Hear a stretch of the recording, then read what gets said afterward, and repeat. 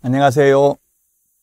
자, 이번 시간은 374페이지 중개 대상물 조사 확인에 대해서 보도록 하겠습니다.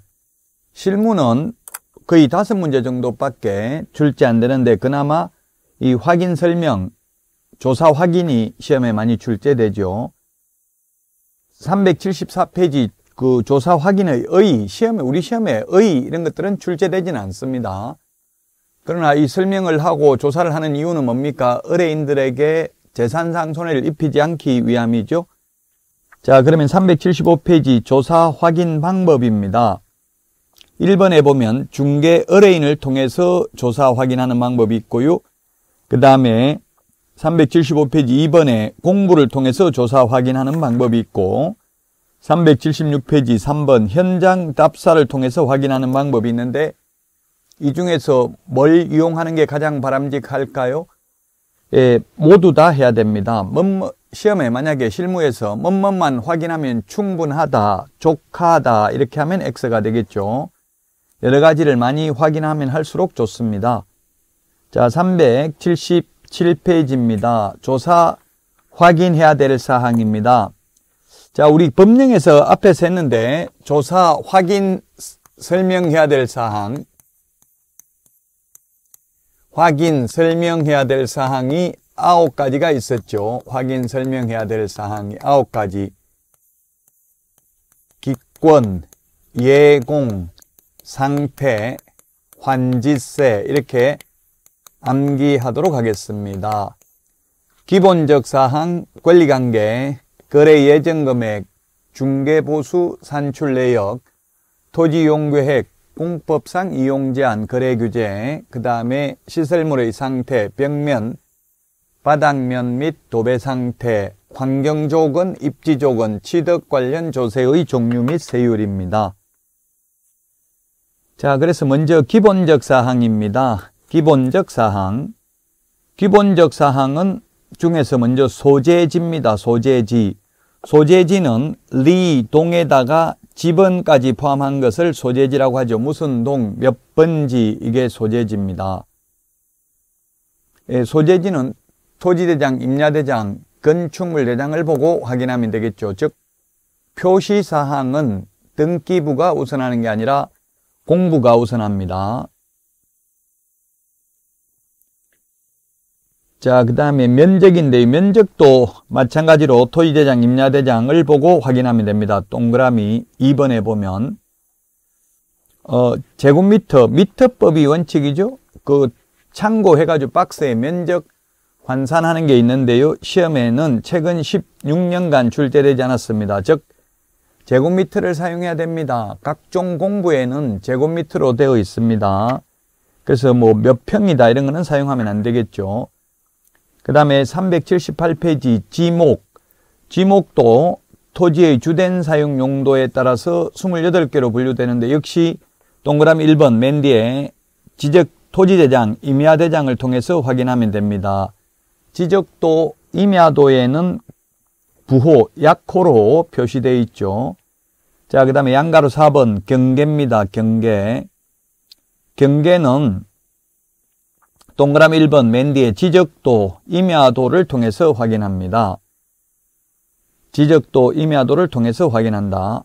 양가로 5번 지형과 지세인데 땅이 생긴 모양, 지형은 땅이 생긴 모양은 지적도, 임야도를 통해서 확인할 수 있죠. 그러나 동그라미 2번 지세, 기울기는 지적도, 임야도를 통해서는 확인할 수 없습니다. 지형과 지세가 있는데 이 지세는 지적 지형과 지세 자, 지적도 임야도에는 어떻게 되어 있습니까? 이런 식으로 되어 있죠. 1번지, 2번지, 3번지, 4번지 이렇게 되어 있고 지목, 천, 원, 차, 장 이렇게 되어 있습니다. 그래서 지적도 임야도를 통해서 확인할 수 없는 것, 소유자가 누군지 알 수 없고요. 그 다음에 면적이 얼마나 되는지 알 수 없습니다. 그러면 알 수 있는 거, 도각선이라고 하죠. 이게 도각선. 그 다음에 경계, 경계 확인할 수 있고요. 지번, 그 다음에 지목은 확인할 수 있습니다. 그러나 지형, 지세, 시험에 지형과 지세를 지적도 임야도를 통해서 확인할 수 있다. X입니다. 지형은 생긴 모양은 어느 정도 확인할 수 있죠. 생긴 모양은. 그러나 지세, 기울기, 경사도는 전혀 확인할 수가 없습니다. 자, 그래서 지적도, 임야도를 통해서 지형과 지세를 확인했다 하면 X가 되겠습니다. 현장 답사 등을 통해서 확인해야 됩니다. 기울기 지세는. 자, 그 다음에 6번입니다. 379페이지 6번. 그 밖에 건축물에 관한 기본적 사항인데 건축물의 구조, 건축연도, 방향, 용도가 있는데 어, 이 중에서 지적도 어, 건축물 대장을 통해서 확인할 수 없는 게 뭐가 있습니까? 건축물 대장을 통해서 확인할 수 없는 건 방향입니다. 방향. 방향은 남향인지 서향인지 북향인지 이 방향은 현장 답사를 통해서 확인해야 됩니다. 자, 그 다음에 권리관계가 있습니다. 379페이지 맨 밑에 권리관계가 있는데 380페이지 양가로 2번 등기부를 열람해서 확인한다. 원칙적으로 권리관계는 등기사항 증명서를 통해서 확인하고 등기사항 증명서에 나타나지 않는 권리관계도 물론 확인해야 됩니다. 등기부에 나타나는 것만 확인하면 된다 하면 X입니다. 그 다음에 양가로 3번 처분 권한이 있는지 여부를 확인해야 되겠습니다. 처분 권한이 있는지 여부를 확인해야 된다. 그러면 동그라미 2번 만약 대리인이라면 대리권이 있는지 여부를 확인해야 되고요. 동그라미 3번 인감증명을 첨부했다 하더라도 대리인이 가지고 온 본인의 인감증명은 믿으면 안 되고요. 직접 확인하는 게 바람직하다. 4번 소유권 외의 권리관계입니다. 소유권 외의 권리관계 자 등기 사항 증명서를 떼보면 표제부가 있고요. 표제부 표제부가 있고 그 다음에 갑구가 있고요. 갑구 그 다음에 얼구가 있습니다. 얼구가 얼구가 있는데 표제부에는 표시사항이 나타납니다.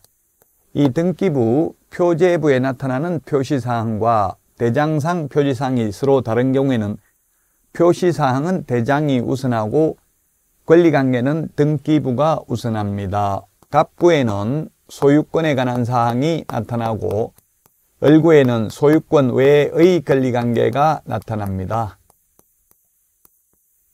소유권 외에 지상권, 지역권, 전세권, 임차권 이런 것들이 나타나겠죠.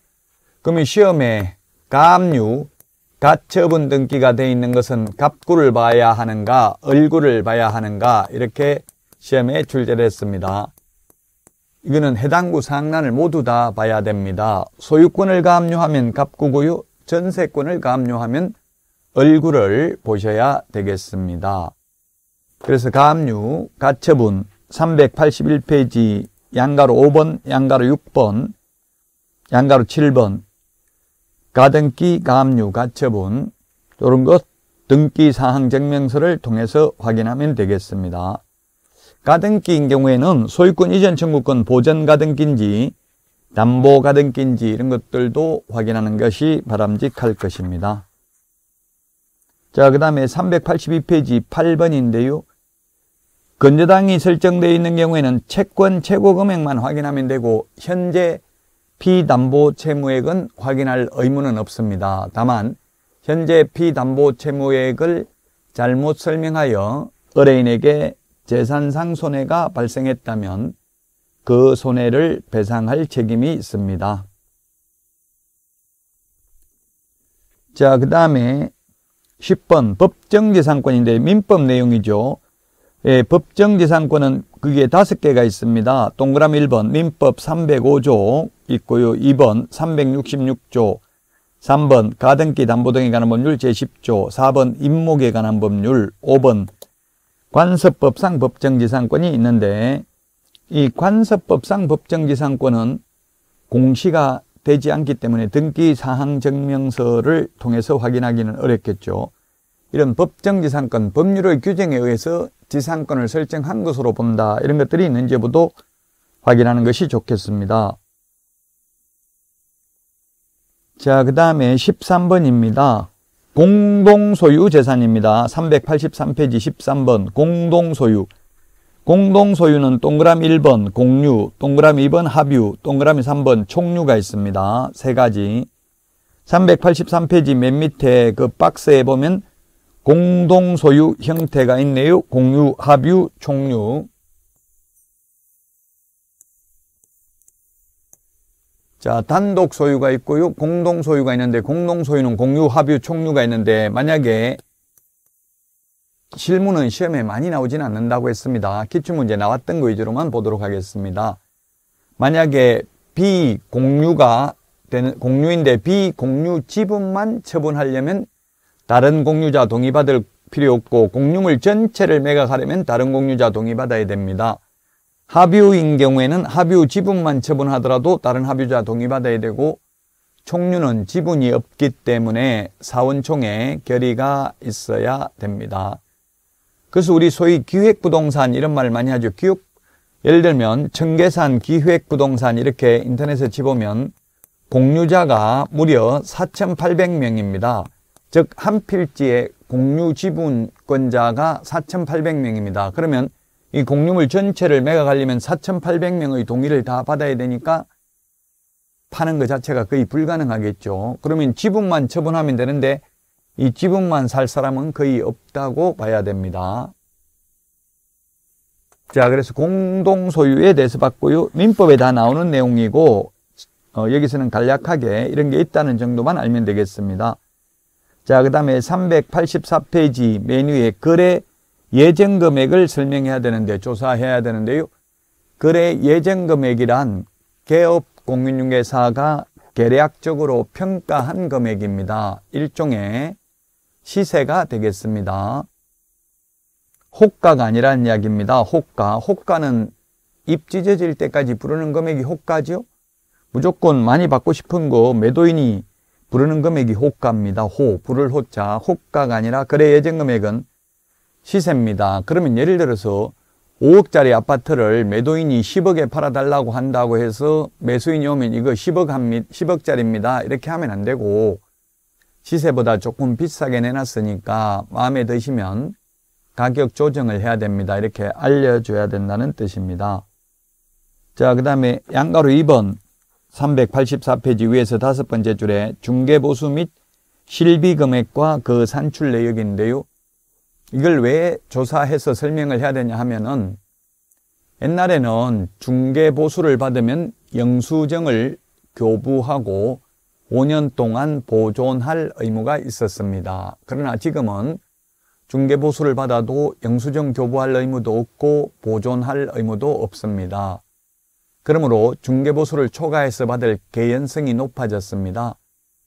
따라서 초과해서 받지 못하도록 하기 위해서 확인 설명할 때 중개 보수 산출 내역을 설명해야 되고 확인 설명서 서식에 중개 보수 산출 내역을 기재해야 되고 거래 계약서에 확인 설명서 교부 일자를 기재해야 됩니다. 이렇게 3중의 보안 장치를 마련함으로써 중개 보수를 초과해서 받지 못하도록 하기 위한 조치입니다.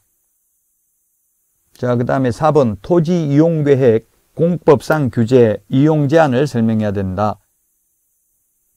토지 이용 계획, 지구 단위 계획 이런 것들 설명해야 되고요. 토지의 가격은 쉽게 말하면 집을 지을 수 있는 땅인지 없는지에 따라서 땅값이 결정되죠. 따라서 용도, 지역, 지구, 구역에 따라서 행위 제한이 달라지잖아요. 용적률, 건폐율도 달라지고 주택을 지을 수 있는지 없는지를 확인할 수 있기 때문에 그렇습니다. 만약에 골프 연습장 하겠다 또는 골프장 짓겠다 이런 거 하는데 예, 골프장 인허가가 나는지 이런 것들을 확인을 해야만 되겠죠. 자, 386페이지 토지 이용 계획 확인서를 통해서 용도, 지역, 지구, 구역을 확인할 수 있는데요. 387페이지 유의사항에 보면은 그 1번에 보면 맨 뒤에 용도, 지역, 지구, 구역 등의 명칭을 쓰는 모든 것을 확인해 드리는 것은 아닙니다. 돼 있고요. 2번 확인 안 되는 게 뭐가 있냐면 철도 보호지구, 학교, 환경, 위생 정화구역과 같이 별도의 지정 절차 없이 법령 또는 자치법규에 따라 지역, 지구 등의 범위가 직접 지정되는 경우에는 확인해 드리지 못할 수 있다라고 되어 있습니다. 자치법규라는 게 조례죠, 조례.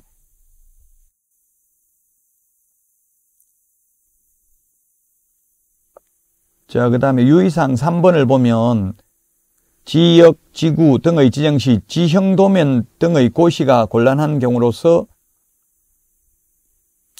지형 도면 등의 고시 전에 해당 지역, 지구 등의 지정 여부를 확인해 드리지 못할 수도 있다. 이렇게 돼 있죠.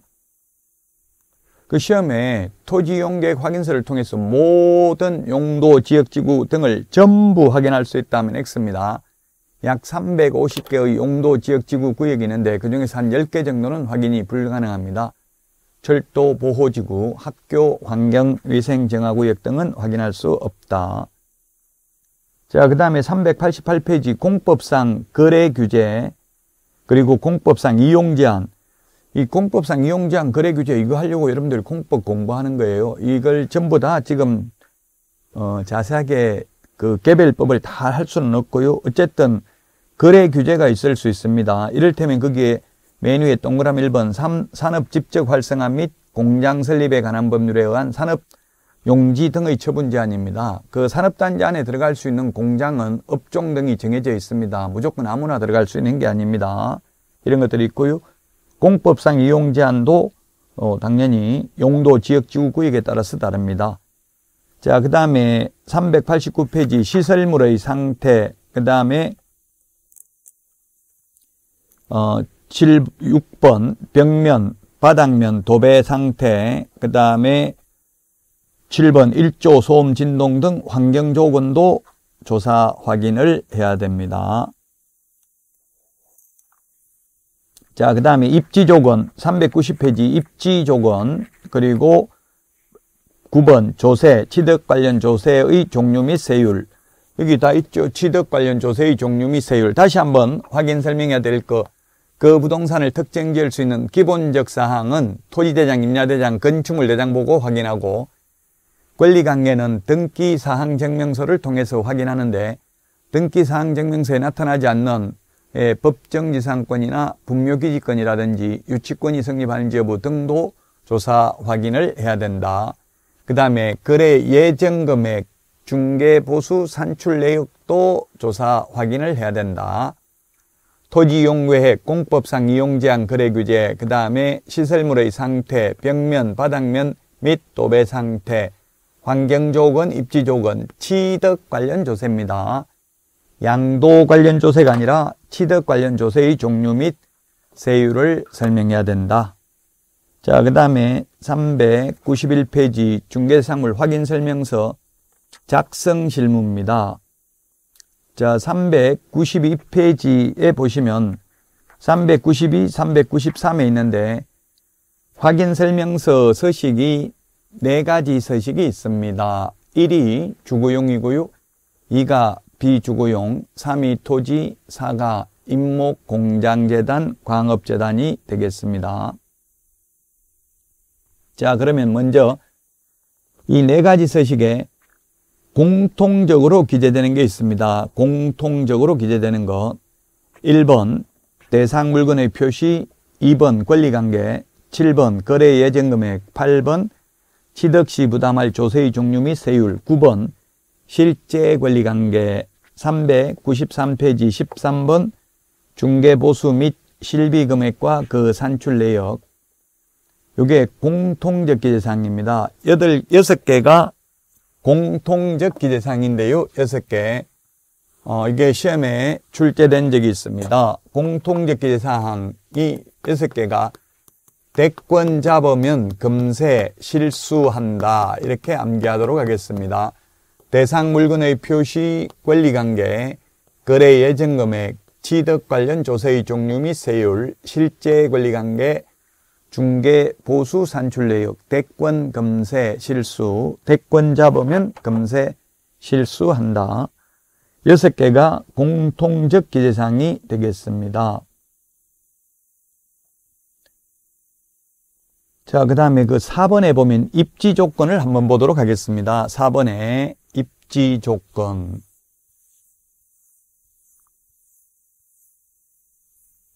입지 조건이 있는데요. 입지 조건. 이것도 당연히 시험에 출제됐죠. 입지 조건 1의 서식, 2의 서식, 3의 서식, 4의 서식이 있는데 1의 서식은 도대주 교판 2의 서식은 도대주 3의 서식은 도대 4의 서식은 해당 사항 없습니다. 우리 기본서 392페이지 329페이지, 392페이지 동그라미 4번에 있죠. 그래서 도가 뭐냐면 도로, 대중교통, 주차장, 교육시설, 판매시설이고요. 그 다음에 이의 서식, 비주거용은 도로, 대중교통, 주차장만 기재하고요. 3. 토지는 도로, 대중교통만 기재합니다. 4번 임목 공장재단, 광업재단의 경우 입지족은 기재하지 않습니다. 자, 그 다음에 6번 비선호시설인데 비선호시설은 1의 서식하고 3의 서식만 기재합니다. 1km 이내에 비선호시설이 있는지 여부입니다. 비선호시설이 무엇인지 명문 규정은 없습니다. 사회 통념상 판단해야 됩니다. 호, 불호는 개인 취향에 따라 다를 수 있기 때문에 논란의 여지가 있죠. 그 다음에 거래 예정 금액 일종의 시세라고 했습니다. 개별 공시지가 건물 주택 공시가격도 기재해야 되는데 이건 공통적 기재사항이고요. 8번 취득 시 부담할 조세의 종류 및 세율, 취득세, 농어촌 특별세, 지방교육세가 있습니다. 자, 그 다음에 재산세는 6월 1일 대상 물건 소유자가 납세 의무를 부담한다는 건 이건 네 가지 서식 모두 다 해당이 됩니다. 네 가지 서식 모두 다 해당된다.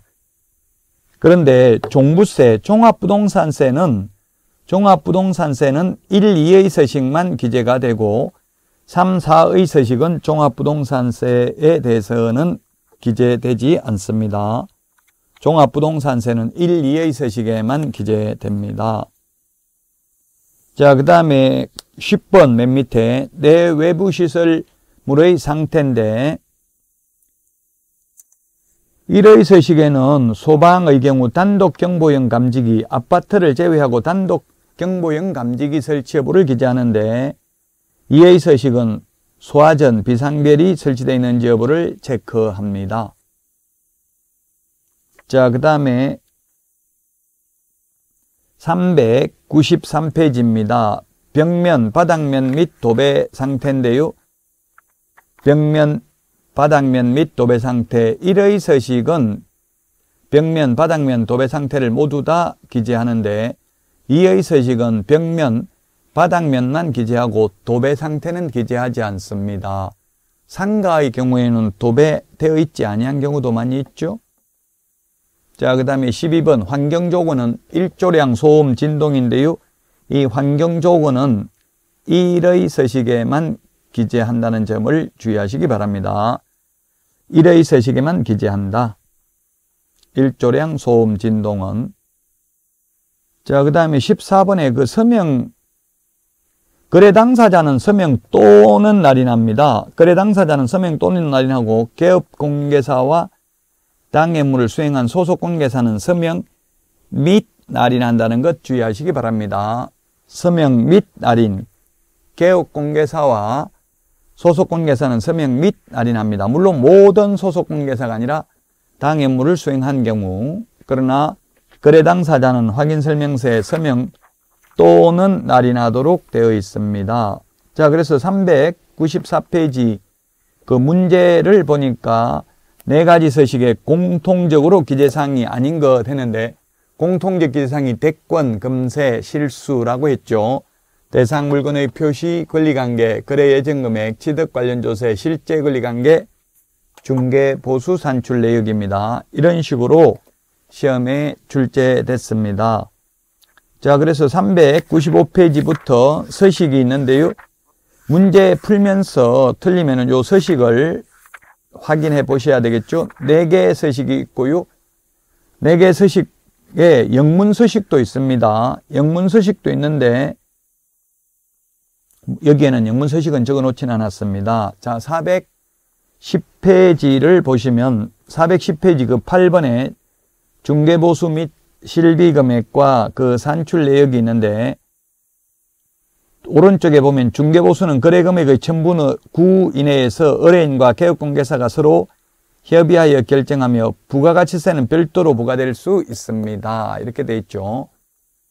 예, 그렇습니다. 부가가치세는 따로 받아도 됩니다. 즉 보통 일반 재화의 경우 그 물건 가격에 부가가치세가 포함되어 있죠. 우리가 식당에서 만 원짜리 밥을 먹으면 거기에 카드로 결제하면 뭐 9,100원이고 나머지 900 얼마는 부가가치세다 이렇게 찍혀 나옵니다. 그러나 우리 중개 보수에는 부가가치세가 포함되어 있지 않기 때문에 가령 중개 보수를 100만 원 받았다면 부가가치세 일반 과세자라면 10만 원 더 받아도 됩니다. 만약 간이가세사업자라면 4%를 더 받아도 되겠죠. 자, 확인 설명서 4개 서식 비교하는 것이 시험에 잘 출제됩니다. 자, 그러면 412페이지 분묘규직권 이거는 공부에 나타나지 않는 권리죠. 분묘규직권, 법정지상권, 유치권이 있는데 법정지상권, 유치권은 민법 시험에 반드시 출제되고요. 우리 중개실무에는 외려 민법보다 분묘기지권이 더 많이 출제됐습니다. 분묘기지권은 지상권에 유사한 예, 특수한 물건입니다. 민법의 물건은 법률이나 관서법에 의하지 아니하고는 임의로 창설할 수 없다라고 돼 있죠. 부동산에 대해서 관서법상 인정되는 물건은 법정지상권하고 분묘기지권하고 딱 두 개입니다. 분묘기지권이라는 것은 오래된 묘가 있으면 옛날 우리 조상들은 그 조상 숭배의 정신이 있었죠. 돌아가신 분들에 대해서. 그래서 오래된 묘가 있다면 나무산에다가 묘를 설치해 놨다 하더라도 강제로 묘를 이장시킬 수 없는 게 분묘기지권입니다. 자, 그래서 분묘기지권의 구체적 내용은 쉬었다가 하도록 하겠습니다.